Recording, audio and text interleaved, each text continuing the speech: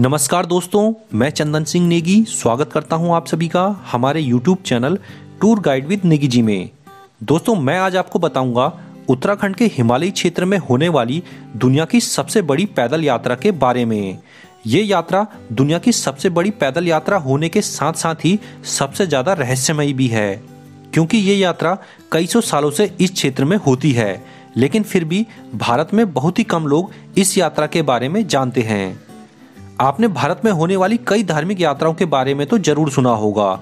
जैसे अमरनाथ यात्रा, कैलाश मानसरोवर यात्रा चार धाम यात्रा, वैष्णो देवी यात्रा, ऐसी कई सारी यात्राएँ भारत में होती हैं। लेकिन ये यात्रा इन सब में सबसे कठिन और सबसे लंबी यात्रा है। दोस्तों, ये यात्रा उत्तराखंड में होने वाली माँ नंदा देवी राजजात यात्रा है। और ये यात्रा काफ़ी हद तक रहस्यमय भी है। तो चलिए फिर आज मैं आपको बताता हूँ भारत की इस सबसे लंबी और सबसे अनोखी यात्रा के बारे में। और यकीन मानिए, ऐसी यात्रा के बारे में आपने आज से पहले कभी नहीं सुना होगा। दोस्तों, भारत देश विभिन्नताओं से भरा देश है। यहाँ हर राज्य और हर शहर में आपको कुछ ना कुछ अनोखी संस्कृति, भाषा, बोली और त्यौहार देखने को मिल जाएँगे। और ऐसी ही एक अनोखी यात्रा होती है उत्तराखंड के हिमालयी क्षेत्र में। दोस्तों, ये नंदा देवी राजजात यात्रा हर 12 सालों के बाद होती है, इसलिए इसे हिमालयी महाकुंभ भी कहा जाता है। अभी अंतिम यात्रा 2014 में हुई थी और इसके बाद जो अगली यात्रा होगी, वो 2026 में आयोजित होगी। आपने कुंभ मेले के बारे में तो सुना होगा कि कुंभ मेला 12 सालों में लगता है, लेकिन कभी किसी यात्रा के बारे में ऐसा नहीं सुना होगा। ये यात्रा गढ़वाल के चमोली ज़िले के नौटी गाँव से शुरू होती है और होमकुंड तक पैदल करनी होती है। इस यात्रा को करने में 280 किलोमीटर पैदल चलना पड़ता है। यहाँ गाड़ियों का कोई साधन नहीं है, इसलिए ये यात्रा और भी ज़्यादा कठिन हो जाती है। इस यात्रा में कुमाऊं और गढ़वाल दोनों क्षेत्रों के लोग शामिल होते हैं। यहाँ पर कुमाऊं और गढ़वाल दोनों जगहों की संस्कृतियों के रंग देखने को मिल जाएँगे। इस यात्रा की झांकी 26 जनवरी 2005 को राजपथ पर भी निकाली गई थी।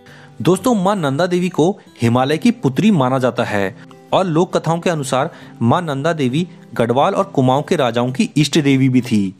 इष्ट देवी होने के कारण उन्हें कई जगहों पर राज राजेश्वरी देवी के नाम से भी पुकारा जाता है। इसके अलावा कुछ लोग माँ नंदा देवी को माँ पार्वती की बहन मानते हैं तो कुछ लोग माँ पार्वती को ही नंदा देवी मानते हैं। अब बात करते हैं कि ये यात्रा कब से यहाँ पे चलती है और क्यों ये यात्रा निकाली जाती है? तो ये यात्रा इस क्षेत्र में कब से हो रही है, इसका कोई सटीक प्रमाण तो नहीं है, लेकिन मान्यता है कि आठवीं सदी से ये यात्रा यहाँ पर लगातार चली आ रही है। और ये यात्रा क्यों होती है, इसके पीछे पौराणिक कथा है।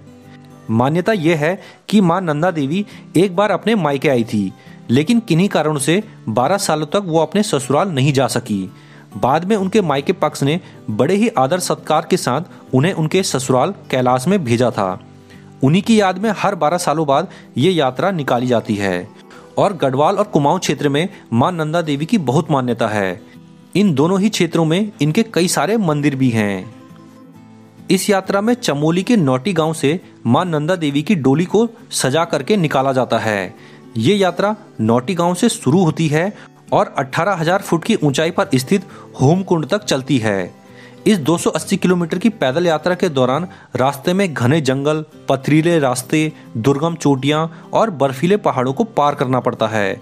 रास्ते में खाने पीने और रहने की कोई व्यवस्था नहीं होती। ये सारी व्यवस्थाएँ खुद से ही लोगों को करनी पड़ती है। ये यात्रा नौटी गाँव से शुरू होने से लेकर वापस पहुँचने तक 280 किलोमीटर हो जाती है और पूरी यात्रा को करने में 20 दिनों का समय लगता है। जैसे जैसे ये यात्रा चलती रहती है, रास्ते में गढ़वाल और कुमाऊं से भी कई डोलियाँ और लोग इसमें शामिल होते हैं। इस यात्रा की सबसे अनोखी बात यह है कि इस यात्रा की अगुवाई कोई इंसान नहीं, बल्कि चार सिंगों वाला एक भेड़ करता है। आमतौर पर भेड़ों के दो सिंग होते हैं, लेकिन इस विशेष भेड़ के चार सिंग होते हैं। ये भेड़ आगे आगे चलता है और लोग इसके पीछे पीछे चलते हैं। इसके बाद होमकुंड से आगे का सफ़र ये भेड़ अकेले ही करता है।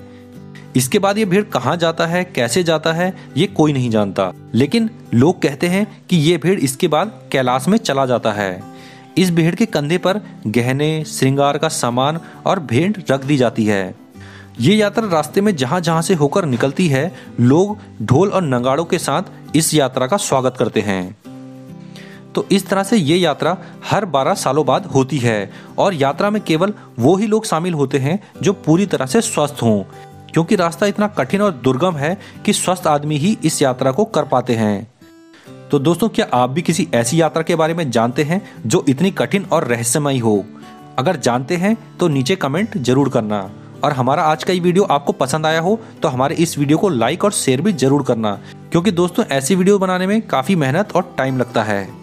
और अगर आप हमारे चैनल पर पहली बार आए हैं तो हमारे चैनल को सब्सक्राइब भी ज़रूर कर लें, क्योंकि हम अपने इस चैनल पर ऐसी ही जानकारियाँ देते रहते हैं। तो दोस्तों, इसके बाद हम मिलेंगे नेक्स्ट वीडियो में। वीडियो में बने रहने के लिए धन्यवाद। जय हिंद।